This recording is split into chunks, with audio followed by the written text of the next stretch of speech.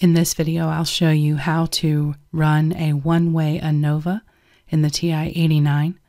From the Apps menu, click on Stats, List Editor, and we're going to enter some random data in lists 1, 2, and 3. If your lists are already populated, put the cursor on list 1, press the clear button, and then either enter or move the cursor right, and it will clear the list. I'm going to enter 1, 2, 3, 4, 5. In list 2, I'll enter 2, 4, 5, 6, 7. And in list 3, 3, 4, 5, 6, 7. Just some junk data to demonstrate. Now that we have the list entered, we'll click on second F1, which will access the F6 menu. And the up arrow is the fastest way to get us to ANOVA. Click enter it asks us if we want to enter the data or if we have statistics. Well, we have data. It's chosen three groups. If you had more groups than that, you would just enter the number you have and click enter. Now, I already had this here, but let me clear this out.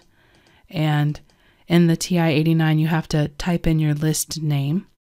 We need to lock the alpha, so I'll click second and alpha to lock it and then spell out L I S T, and then click alpha to unlock it and the number one. Now I don't want to type this over and over again, so I've clicked the down arrow. And when I click up, it's going to select list one. Then I can click this little diamond button and the up arrow, and that copies it into memory. Click the down arrow and the diamond and the escape button, and it pastes it in. Then I can backspace one and change that to a two. Down arrow, diamond, and the escape button to paste it in again, backspace, and the number three. Now I've got my three lists entered, and I click OK.